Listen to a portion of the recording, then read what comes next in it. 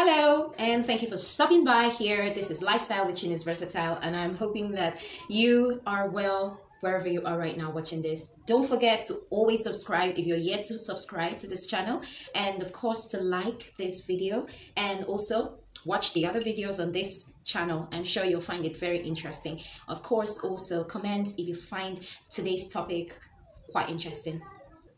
Okay, so today, um, I actually do mean very serious business here today. I, I really want us to talk about the major reason why this platform was created.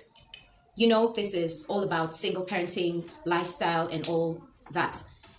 So, but it's also good to have an understanding of who the term single parent really is. Because when you have an understanding of that, when you know what that phenomenon is, you will relate better to people who fall within that class, within that community. So if it's something you like to listen to, don't go nowhere. I'll be back in a bit.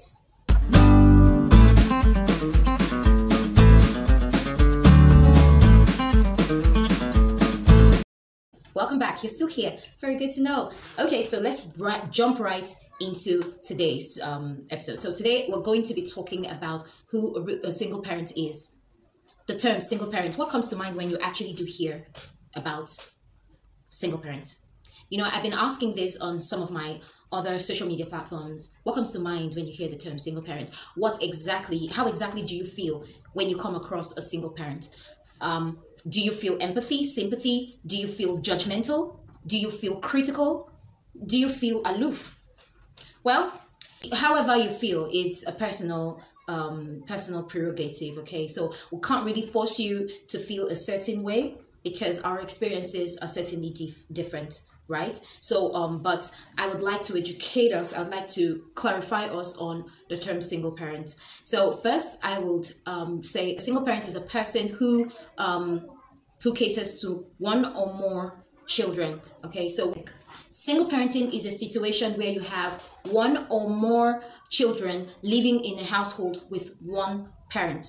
So, like, you know, um, an ideal family system or an ideal family situation is where you have the father, the mother, and children, right? So, but in a case where one person is absent, that is a single parent um, situation, a single parental home situation. All right, so that's that. So the single parenting situation could stem from, in some cases, it could stem from the death of a partner. So a situation where you have a husband and wife married for a while, and then due to sickness or untimely death, one partner gets off. So the partner could either be male or female, either way. So leaving the other person a widow or a widower. So in such scenario, you have um, the other parent now a single parent due to death okay? Then we also have another one that is quite common mostly found um, within the younger generation and that is the situation of where we call it we call it um, we call it in our community we call it never married okay? Not yet married not been married single parent. So the never married single parent happened to be someone like um, a teenager who probably got raped and in the process found out she's pregnant does not want to abort that baby and decides to keep the baby, keep the pregnancy, and eventually give birth, um, birth that baby. That's one scenario. Another scenario could be um, two people, a boyfriend and girlfriend, you know, having a nice time, and eventually, um, you know, the female discovers she's pregnant, and the male raises his hands up, no, I'm not responsible, or denies it outrightly, that is not responsible, is not taking responsibility of that pregnancy, and that female decides to um, take responsibility, bear the responsibility of birthing that child, that is another situation. So in that case, that um, person becomes um, that scenario, that um, lady becomes a single parent. And of course, it so happens that um, it could be the other way around. So now the lady maybe both of them accept they ag- agree to keep the child and then when the child is born probably the mother eventually passes away. The father has to stand in now and take responsibility. So in that case he becomes a single parent. Another situation we have are married um, and separated. So we call them separated single parents. So a situation where you have um, two a couple are married and then due to irreconcilable differences they choose to stay apart and they one person has to cater to the responsibility. And in most cases this situation is usually you usually find more women being in charge of parenting the child or children. But also another thing that could happen would be um, still due to irreconcilable differences the man as you find sometimes happen mostly in the African society, um, because the man ha- is well to do or more comfortable than the woman, he would want to claim responsibility of the children, that's claim full custody of the children.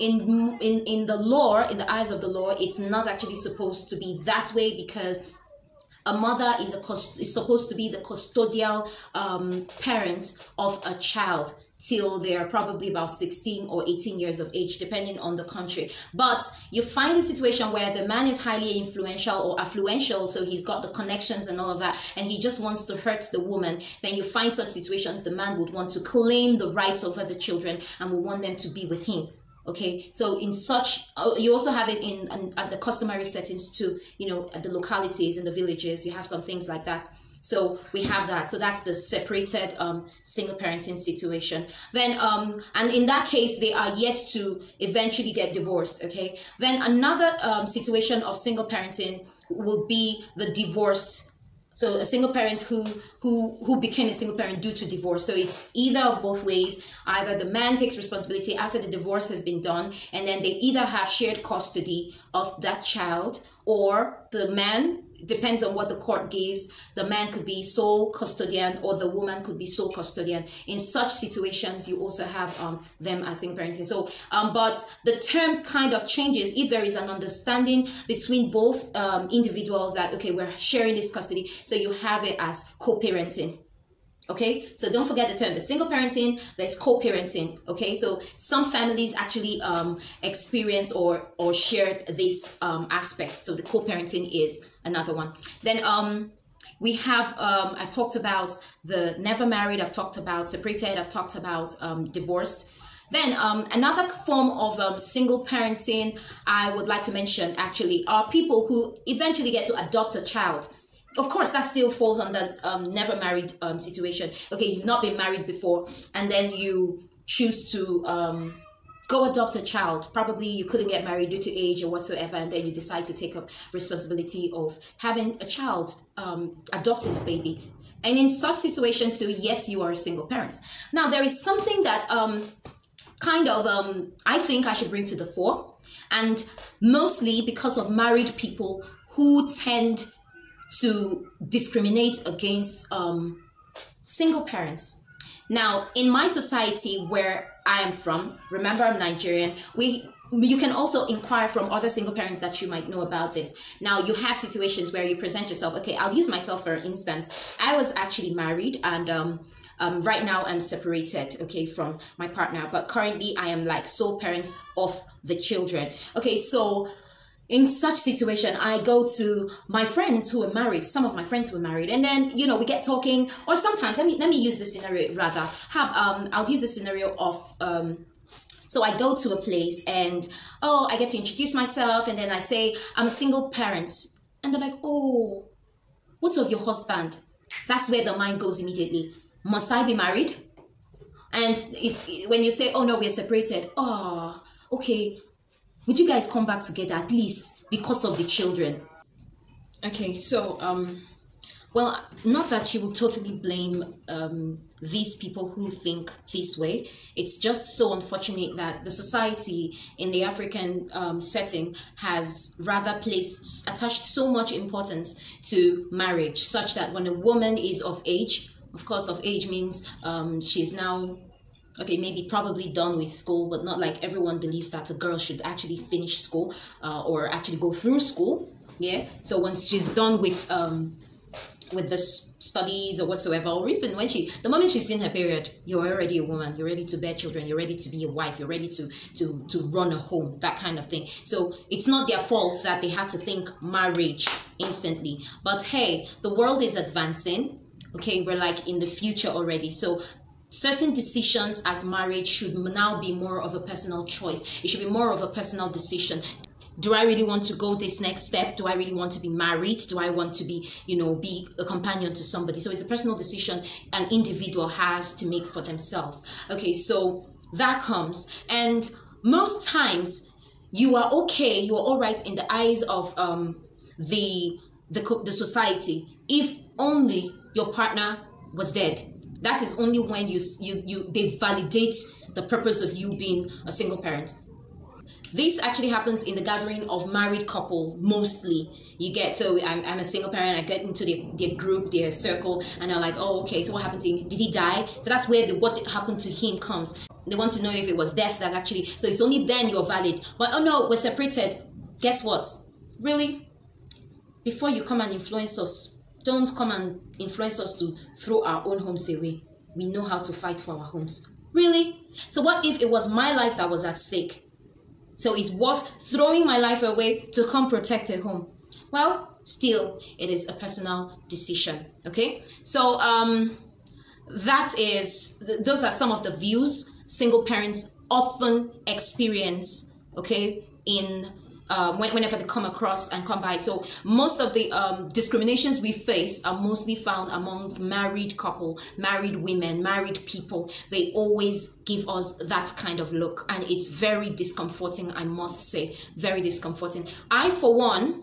I personally stand my ground. I try to be more firm about my current state and if I'm not okay with it, trust me, I won't even be in your face. But because I'm very comfortable with the situation at the moment as I am experiencing, it should be none of your business. If you cannot send love my way, then please keep your emotions whatsoever to yourself yeah? So um that's that. Now i will run through some terms that will come across whenever you, these terms are related to um, single parenting. I'll run through this. You have something like a primary caregiver you have parenting you have mother father okay? You have motherhood fatherhood separated divorced widowed you have death. It's also a related term. It's related to the single parenting term. You have single, you have pregnancy, custody, bonding, blending, um, fosters, um, separation, adoption, abortion,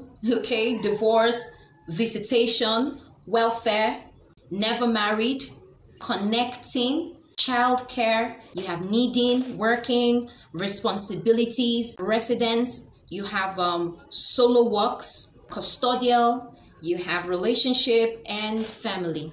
I must also mention here that it is always better to give a generalized term. It's just that I find that most people who use the term single mother, oh, I'm a single mother, they're trying to drop it. probably, um, it's my own opinion, okay? Um, probably, I find it a lot more um, on this side of my um, circle, okay? So people tend to um, give off the, oh, I'm a single mother kind of presentation for people to have pity for them. I really think that's not fair, mostly because there are men who are genuine single fathers. So imagine every man, due to their pride, of course, men would not go around and say, Oh, I'm a single father, I'm a single father. But you find a lot of women being proud to say, I'm a single mother because they want to buy the sympathy of the person they're talking to. And likewise, you find that the most members of the society are more or express a lot more sympathy when they know oh she's a single mother than she's a single father. Well i will delve more into this in the following episodes after now after this because we really need to talk about the fact that men because of how overrated the term single mother has become it has made it has more or less alienated men and taking them off the um, capability of having to actually take care of the children. Personally, I know good men. I know men who are taking up the responsibility of taking care of their own child slash children, and they're doing a fantastic job at that. So let's let's let's take our gaze off the single mother for once, and rather use a more generalized term as single parenting. That way, you accommodate everybody. That way, you accommodate that um, man who is really doing well, and then you're really giving him credence to whatsoever whatever effort, no matter how little he's doing. Not forgetting that some of these men actually might not have the children live in with them but they're taking care of them extensively through their family members. So some of them might just have the children live in the homes of their family their other family members their siblings and all that and while they go about running around their um, daily activities to make ends meet and make provision for their children. So let's give these men let's give the male folks who are doing well who are likewise being mothers and fathers to their children let's give them some applaud yeah they deserve it they do. Okay, so this is um, how far we'll come in today's episode. Let us just um, have this understanding about whom a single parent is. Um, in the next episode, I will talk about the challenges and misconceptions of single parenting. Okay, so I want to believe that you learned something today. I want to believe that there's been like a bit of a mindset shift. If you happen to be that kind of person who discriminates against the single parent. I want to believe that this has been able to enlighten you more, and this way you have a better understanding about the single parenting community and will and would be more accommodating now of members of this community. Thank you so much for your time. Um, actually it wants to rain now so that's why um, this place is going to be dark in case you're seeing this but if not then that's perfect. Thank you so much for your time. Thank you for subscribing. Thank you for always checking in. Thank you for always liking and commenting. It is with love i receive every of your good gestures. God bless you and love and light. Namaste